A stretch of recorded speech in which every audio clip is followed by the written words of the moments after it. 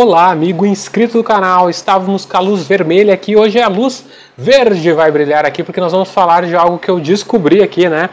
Lembrando, eu trabalhei no Banrisul de 2002 a 2007, já passei aqui no canal muito sobre a minha visão bancária de todo o tempo que eu trabalhei no Banrisul e o tanto que é legal e os pontos positivos, né, que são os que são legais e os pontos negativos aí para quem não gosta tanto da área de venda. Mas hoje, o que eu fiquei descobrindo é uma fato atual aqui, né, é, me atualizando na internet sobre o serviço no Banrisul, sobre o salário no Banrisul atualmente. Então você que me acompanha, que fez o concurso do Banrisul, está na expectativa aí da nota de corte, enquanto você aguarda, vamos ver aí o salário que você, que vai conseguir estar dentro das vagas, lembrando que as vagas eram uh, ah, 800 e tantas vagas, mais 500 e poucas do plano de demissão voluntária. Então, o que nós temos no edital ainda não estão contempladas as 500 e tantas vagas que serão distribuídas nas regiões. E, inclusive, tem uma entrevista aqui do presidente do banco falando que, além dessas vagas, que são para 2023, então, durante esse ano, essas mil e quase 1.400 pessoas serão chamadas no concurso Banrisul. Além dessas vagas, não há um cadastro reserva, mas há chamada adicional, ou seja, se for necessário, eles vão chamar mais pessoas, tá? Então isso é muito legal. Ao contrário, se eu não me engano, né, no último concurso chamaram apenas os 200 das vagas. O concurso só teve um ano de validade e não foi renovado, o concurso anterior. Então, neste concurso, nós temos muito diferente, que eu acredito que já são 1.400 vagas praticamente de saída e com a possibilidade de chamar mais gente no decorrer da validade do concurso. Muito parecido com o que aconteceu com o meu concurso lá em 2002, né, que eu fiz, que também eram 400 a 800 vagas iniciais, né? Depois chamaram muitas pessoas, acho que mais de duas mil e poucas, três mil pessoas no decorrer uh, dos quatro anos, tá?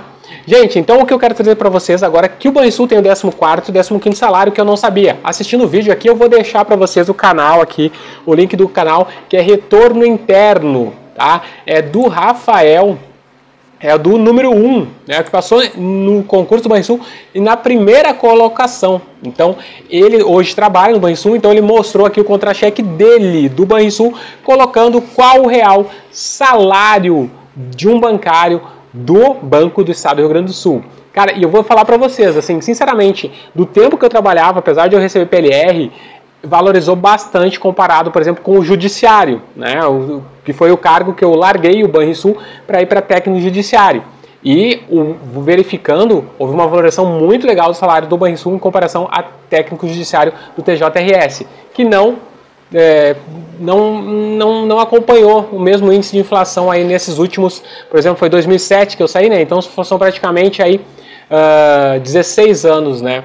Uh, de diferença de remuneração. Lembrando que quando eu saí para técnico judiciário eu ganhava mais que bancário, tá? Só para ter uma ideia. E agora eu acho que meio que se equivale praticamente o salário. Gente, então é Renan Duarte, só passar o nome do uh, canal aqui, que ele dá várias dicas e aulas também para concurso bancário. Então quem vai fazer Banco do Brasil, segue lá que o cara é fera. Muito legal, tá bom? Gente, então continuando aqui, eu vou colocar para vocês na tela. Olha só que legal o contra-cheque, tá? Se você quiser assistir o vídeo inteiro sobre a análise do contra-cheque, pode ir lá no canal dele que tem o vídeo inteiro. Acho que é 30 minutos analisando tudo. Aqui eu vou tentar fazer mais sucinto e objetivo. Olha só, a gente tem ali o ordenado do edital, né, após o contrato de experiência, R$ 2.963, tá? Aqui tem essa gratificação normal, e essa gratificação normal que me chamou a atenção.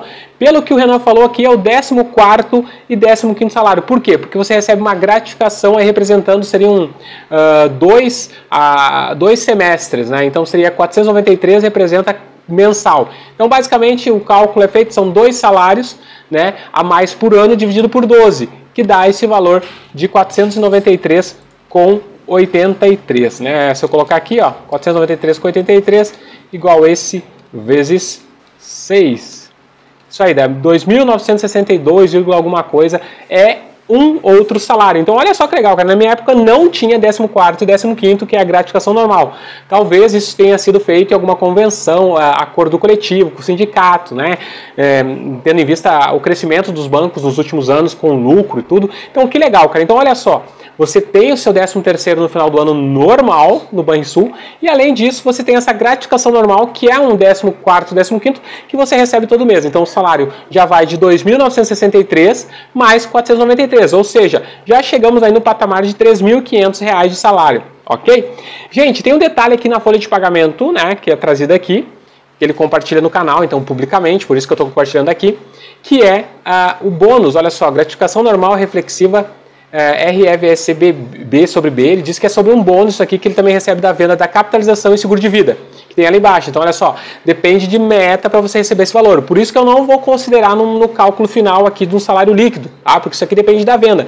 Pode ser que você venda tanto quanto o cara aqui, ó, show de bola, cara, não é fácil aqui tirar 590 seguro de vida de comissão, 253 de capitalização, né? Então, bem legal aqui, tem uma boa média de venda. Então, pode ser que você chegue no início e você não consiga vender nada, então não dá para calcular. Ou que você consiga vender alguma coisa, pegar uma agência que venda mais, não sei, vai ser a dinâmica de cada agência. Então, aqui tem um valor de 6,590 mais 253, mais uma gratificação reflexiva de 140, que a gente desconsidera de um uh, servidor, de um funcionário novo do Banrisul. Então, seriam praticamente aí uh, 253 dá 393 mais 600 a 993, né, tira 10, 983 reais, 973 reais a mais aqui no salário final desses que deu esse total de proventos 4.643, ok? 4.643 o total. Então a gente retirando isso, o salário viria para basicamente uh, uns 3.700, 3.800 reais, tá? 3.700.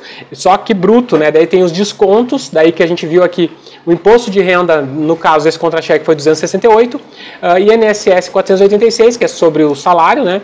E nós temos aqui a previdência complementar, que você pode aceitar ou não a previdência complementar, que aqui no caso é 105 reais mais 29 o coletivo e individual. Isso aqui é legal, eu também faria a previdência complementar porque você coloca 105 reais na previdência, o banco coloca mais 105 reais. E no final disso, quando você se aposentar, você retira todo esse valor para você. E se você sair do banco, passar no outro concurso, você retira o que você aplicou e uma parte do que o banco aplicou, foi isso que ele explicou no canal dele. Então, muito legal isso aqui da previdência complementar, ok? Então, eu descontaria, escolheria descontar, então também teria esse desconto. Então, olha só o que leva a crer que no final aqui, ó, Teve o plano de saúde aqui, que é o PAN, lá embaixo, contribuição PAN, que é descontado 78 com 38, que desconta ali nos débitos externos. Então fica um salário líquido de 3.674,59. O salário dele que teve essas metas de vendas. Então, vamos tirar o imposto de renda, INSS, que daí não vai descontar desses 950 que ele ganhou a mais pelas metas ali que ele bateu e que ele fez e que vendeu, pela comissão, na verdade. Tirando esse valor, então o valor talvez líquido seria o quê? Uns 2.800 a 3.000. Se você não vender nada no banco, né? Vamos colocar assim, se você não vender nada, nem um produto do banco, durante o mês, recebendo só o seu salário base aí com o 14 e 15 que é essa gratificação normal, né? Você teria um salário líquido na faixa de 2.800 a 3.000. Só que esse é o salário base, sem o auxílio alimentação e refeição, que você pode receber em dois cartões ou apenas um cartão, que você vai usar para o mercado, para o restaurante, né? E com as grandes redes de supermercados aqui, como é, Bourbon, Carrefour, tudo que aceita aí o ticket de alimentação, você pode usar para comprar muitas coisas. Então, gente, não tem como você deixar aí de usufruir, porque é uma parte do seu salário, esses 2.187, acho que é 2.187,96. Tá? Já vou mostrar o cálculo na outra tela. Então, calculando assim, ó, salário líquido 3 mil, mais 2.800 a 3 mil. Tá? Vamos chutar para baixo 2.800. Tá? Igual o Banco do Brasil. Também chuto mais para baixo. Então, 2.800 a 3 mil, mais 2.187 de vale alimentação. Então, aí nós chegamos praticamente né, a um valor aí de 4.987. 5 mil, 5 mil reais líquidos, tá? Com vale alimentação. E tem um fator muito importante que não está aqui no contra-cheque desse mês, que é a participação nos lucros. Na minha época já tinha, a gente recebia então, duas participações nos lucros a cada seis meses, o que dava um bom salário, um, no mínimo um salário a mais. E agora no Banrisul, pelos cálculos que foi esse ano e tem sido os últimos anos, o PLR desse ano veio na faixa aí de 10 mil, ou seja, dois PLRs de 5 mil líquido. É um pouquinho, um pouquinho mais de 5 mil. Né? É, até tem um outro colega meu que falou que deu 9.800, que também trabalha no Banrisul, que esse ano os dois PLR somando líquido deu 9.800. Então veja, nós temos um PLR de 10 mil, né? então somando os dois PLRs, 10 mil, você divide esses 10 mil por 12, né? vai dar 833 reais. Né? Então olha só, 833 reais, aí eu coloco na tela para vocês agora a nossa soma, o salário líquido, né? o salário líquido na conta, 2.800, Coloquei já o mínimo, pode chegar a 3 mil sem você vender nada. Não, não vendeu seguro, não vendeu consórcio, não vendeu nada. Não vendeu, entendeu? Sem comissão nenhuma, 2.800. Mais 2.187 de vale alimentação, e mais 833 de PLR. Claro que isso entra a cada seis meses, mas dividindo por mês dá 833 por mês. Então chega um salário líquido hoje no Banrisul de R$ 5.820 a 6 mil, dependendo aí, que eu disse de 2.800 a 3 mil deve dar o líquido, depende de dependente que você tem para imposto de renda, se você vai contribuir ou não para complementar, né? Tudo isso aí, o plano de saúde, quando você vai pagar, se tem mais dependente, apenas você, então tem tudo essa dinâmica. Mas então, quem é, uh, teoricamente, né, não tem dependente, é só uma pessoa aí, não vai pagar um plano de saúde mais do que, o, eh, do que a pessoa, o Renan, aqui paga, vai dar esse valor de R$ 5.820 aí no Banrisul trabalhando então 6 horas por dia. Mais essa questão, né? Trabalhando 6 horas por dia, um salário 5.820 líquido aí, sem as metas. Porque se você bater meta de venda e vender 300 reais de comissão, mais 300 reais aqui no mês. Né? Então tem mais essa dinâmica aqui que a gente traz no canal. Tá bom, gente? Tentei ser sucinto aqui, trazer para vocês a questão do 14 e 15 que eu não sabia que existia né, no Banrisul, que é essa gratificação a mais aqui de 493 todo mês. E o salário líquido, né, que eu me surpreendi aqui porque deu na faixa uh, de 5.820 com a participação nos lucros, tá bom? Então lembrando que não, eu acho que nos últimos 17 anos, como eu falei para vocês, teve uma valorização legal aqui no salário com a implementação de algumas coisas, esse 14 15 o PLR sempre sendo um, um, valor legal, então faz com que o salário seja muito atrativo, tá? Muito atrativo mesmo. Então, comparando com o Tribunal de Justiça Estadual, tribunais estaduais, né? Então, é um salário aqui que fica aparelho. Né? Eu acho que hoje, assim, com a alimentação, que teve um acréscimo também no TJ, o valor deve ficar parecido dos dois, talvez um pouquinho a mais ainda do Barrisul para o técnico judiciário, né? padrão, nível médio, também assim como o escriturário do Banrisul. Tá certo, gente? Então aqui trouxe a informação para vocês de uma forma sucinta, indicando aqui desde já a fonte da informação, que é o canal, novamente citando, do Retorno Interno Concurso Banco do Brasil. Né? Esse é o nome do canal, Retorno Interno Concurso Banco do Brasil. Ele é, pelo que eu entendi, ele é bancário do Banrisul e aqui está dando aulas aqui, ele é economista, especialista em investimentos, então ele dá aulas aqui gratuitas na internet para você se preparar para o concurso do Banco do Brasil e do Banrisul, ok? Então, como tem só o Banco do Brasil, então se prepara, vai lá, curte e acompanha o cara que o cara é fera, muito legal o canal dele, tá certo? Um grande abraço e Deus no controle sempre.